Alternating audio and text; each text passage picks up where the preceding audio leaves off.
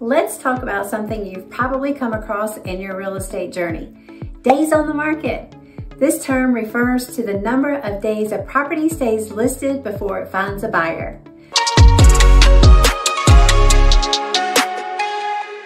Hi, I'm Leah Beaulieu with Coast to Coast Properties and eXp Realty. Today, let's dive into the concept of days on market and what you can expect as a seller. Property sells quickly with short days on the market, it's a fantastic sign that your home is in high demand. This could mean multiple offers, potential bidding wars, and an increased likelihood of selling at or above your asking price. On the flip side, if your property remains on the market for an extended period, it might indicate that buyers have some reservations about your property.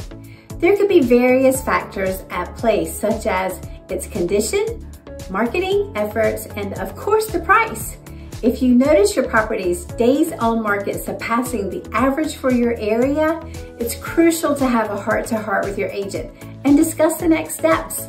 This may involve making a price adjustment based on the market activity. However, keep in mind that price adjustment is just one aspect. It's essential to have a comprehensive understanding of the market, evaluate buyer feedback, and make necessary adjustments to enhance your property's appeal. With the right marketing strategies and pricing approach, you can boost your property's desirability and increase the chances of a successful sale. If you're a homeowner contemplating listing your property, don't hesitate to reach out to me and my team. We'll provide you with the latest housing data and position you for success. I'm Leah Beaulieu with Coast to Coast Properties and eXp Realty, matchmakers of homes for buyers and sellers. As always, please like our page, share our video, or comment below if we can help you.